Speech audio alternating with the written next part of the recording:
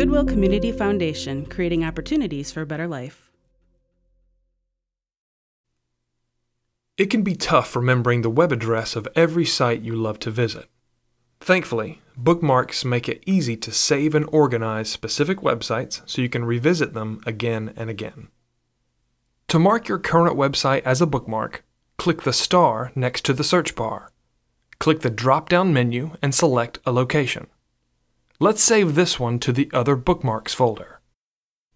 Click Done, and it will be saved in your chosen folder. Later on, if you'd like to revisit that site, begin typing in the address bar. Any bookmarks matching the text will appear alongside a star. Just click on the link to open it. You can also click the clipboard button to see the recently bookmarked section, or you can hover your mouse cursor over one of the folders and click on a site. Finally, you can hover on Bookmarks toolbar and click View Bookmarks toolbar.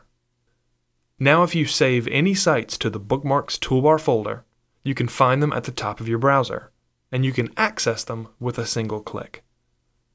Once you begin collecting bookmarks, you may want to organize them by creating a folder. To make a folder, click the Clipboard button, then select Show All Bookmarks. Click on the desired location for your folder, then click Organize, and select New Folder. Give it a name, and when you're finished, click Add.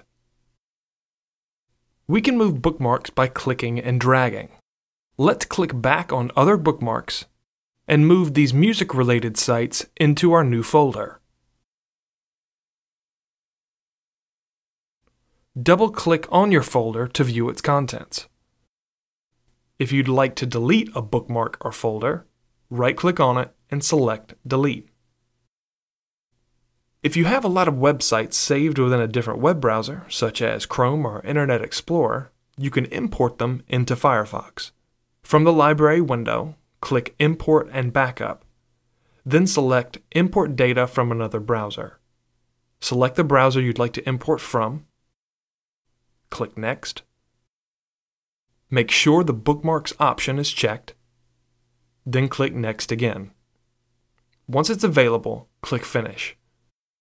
The imported bookmarks will then appear in a new folder in the Bookmarks toolbar.